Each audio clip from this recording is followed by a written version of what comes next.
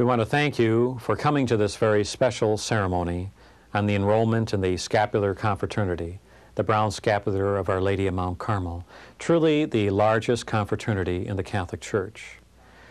A good definition of a sacramental can be found in our book on number 34, our Litany of Thanksgiving, number 34 in our family consecration prayer books. And if we go to the third to the last paragraph in that section 34, it reads, You have given us many sacramentals, such as the brown scapular of Our Lady of Mount Carmel. Let's read that together now, slowly, and meditate on these words. You have given us many sacramentals, such as the brown scapular of Our Lady of Mount Carmel, to remind us of the spiritual realities that affect our lives and to properly dispose us for the reception of special graces you want to confer on us. And I think this is important. The, to know the difference between a sacramental, which there's so many in the church, holy water, medals, rosaries, and a sacrament. A sacrament is instituted by Christ, one of the seven sacraments, and grace is infused in us through the power of the sacrament uh, itself, depending on the disposition of the recipient naturally. But a sacramental really disposes us to receive graces, as we said in this meditation, to properly dispose us for the reception of special graces God wants to confer on us.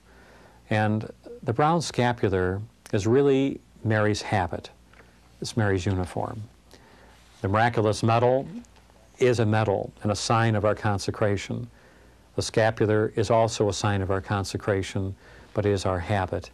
And it is tied into a very powerful communion of saints, source of reparation, source of grace for all of us.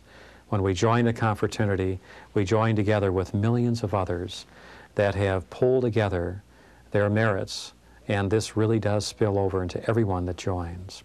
Let us now go to two renowned experts on the brown scapular, Father Howard Rafferty, at the time of this recording was national, national director of the Brown Scapular Confraternity, and uh, Mother Immaculata St. Anthony, a Carmelite hermit.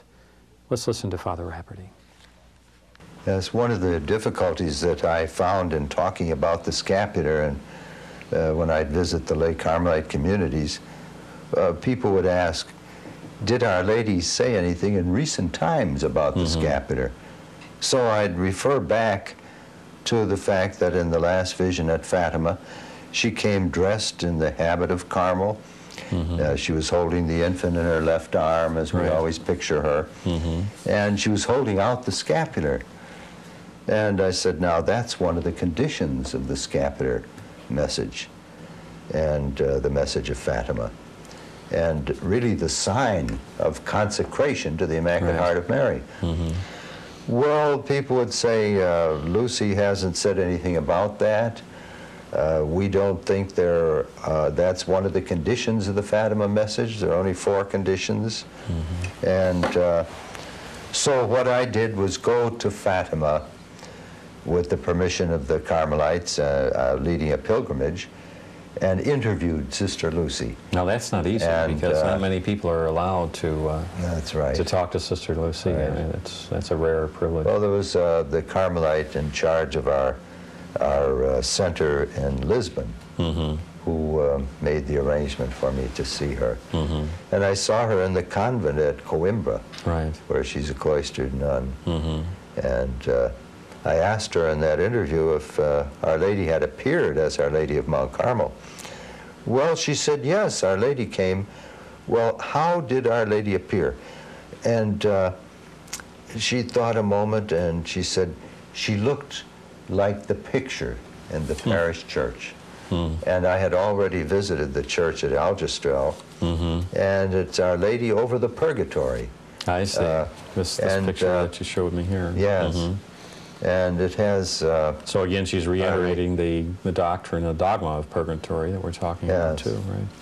And uh, so I said, well, what did Our Lady mean? Well, she said uh, Our Lady meant that we should wear the scapular. Well, I said, how, how do you know that? Because mm -hmm. people were asking me the same question.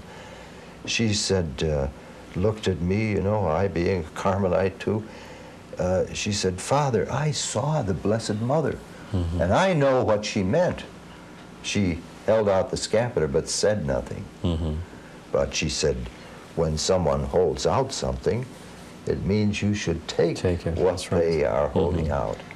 So she said, I consider it to be one of the one of the necessary conditions of the Fatima message, Mm-hmm. the sign really of consecration. Right, sign of consecration. And I asked her on that occasion, one of, there was a Franciscan with us, and uh, different ones were saying, when you get in there, write, uh, write down to ask her this question. Right. So I, I had a book full of questions, and, and uh, I, I said, uh, Here, here's a question that uh, Father so and so, the Franciscan, asked me to ask you, and it, it doesn't seem right that I should ask you in this moment. Uh, and uh, I said, it, it says, which is more important, the saying of the daily rosary or the wearing of the scapular, a sign of consecration? And uh, she looked at me and smiled and she said, the rosary and the scapular are inseparable. Inseparable. Well, that's a beautiful way to put Yeah, it. It so really that's is. uh, as far as the Fatima message is concerned. Now, Father, what was the the specific promises that Our Lady then made? Uh, Well, that whoever would die wearing this Mm-hmm. garment would not uh, see eternal fire. Mhm. Now, Father, Lord, isn't there the- some implication in those words that the church has uh, uh, recognized? Because on the surface, it would seem as if it would either be superstitious or false. Because if- if I just simply have to wear a scapular, then I can wear it and do whatever I wish and die and be assured of salvation. Yes. Well, we, uh, of course, uh, uh, have affirmed again and again with the church that it's not a superstition, that when one puts the scapular on, there's also the obligation of imitating the virtues of the Blessed Mother. And, and uh, we always say, well, the prayers of Mary will be with her children, and she'll see to it that the individual who wears the scapular will die in God's grace. The scapular was like an apron they put over the habit, and the order of Carmel was known to be Mary's order. So she gave it to Simon Stock at a time again of crisis. The order was falling apart and ready to disappear. He asked her for a sign. She came with a sign that meant, This is a symbol of my protection of the order, not only of the order, but of all who will wear it. In other words, everyone who will wear the, my clothing will be my child mm-hmm. and will have my special protection. Not only my special protection, but they will be able, through my presence, to grow into my grace, my immaculateness. And there's a lot more development in that. But in within the order, we have always thought of it as really wearing the presence of Mary when we put on our scapular in the morning. We were clothing ourselves with Mary's own clothing. We were putting on the presence of Mary as if she was wrapping her arms around us. And the church then has made it a sacramental sign